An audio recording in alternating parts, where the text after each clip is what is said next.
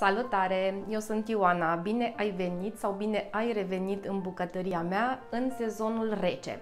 Nu mă bucură atât de tare că este sezonul rece, dar mă bucură că este sezonul turtei dulci este preferata mea de departe și aș mânca-o non-stop.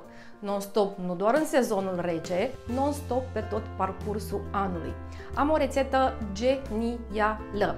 Am testat eu foarte multe rețete și le-am răstestat și le-am reinventat, dar nu, niciuna nu se compară cu aceasta. Am preferat să rămân la o rețetă și bună decât multe și proaste. Așadar, hai să o împărtășesc și cu tine.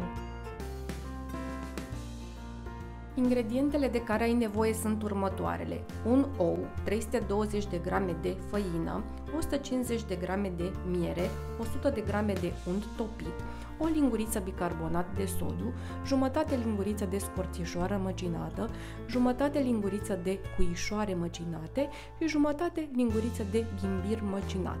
Cum procedezi? Bați bine oul, adaugi untul topit, și continui să amesteci. Pui pe rând lingurița de bicarbonat de sodiu, jumătate de linguriță de scorțișoară, jumătate de linguriță de cuișoare măcinate și jumătate linguriță de ghimbir măcinat. Continui să amesteci și adaugi făina. Amesteci bine, bine. Adaugi și mierea și incorporezi toate ingredientele.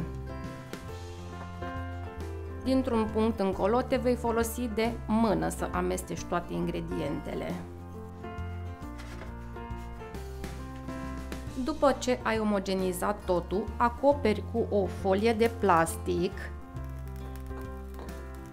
și bagi la frigider pentru 1-2 ore. După ce ai lăsat la frigider pentru 1-2 ore, scoți folia de plastic, scoți aluatul, îl pui pe masă și îl întinzi bine, bine.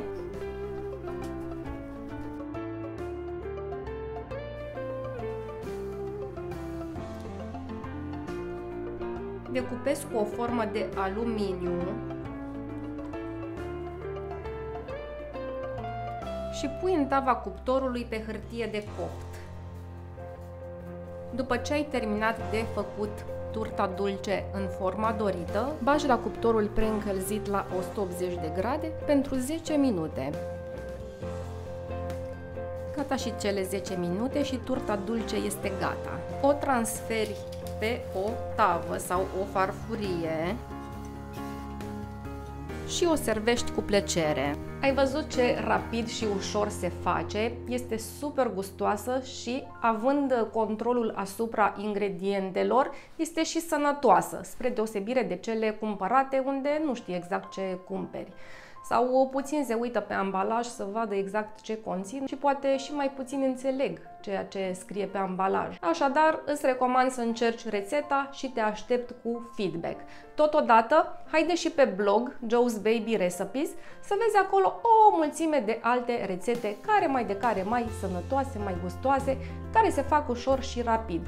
Unele chiar singure, adică fără vreun proces termic de coacere, fierbere, abur sau prăjire.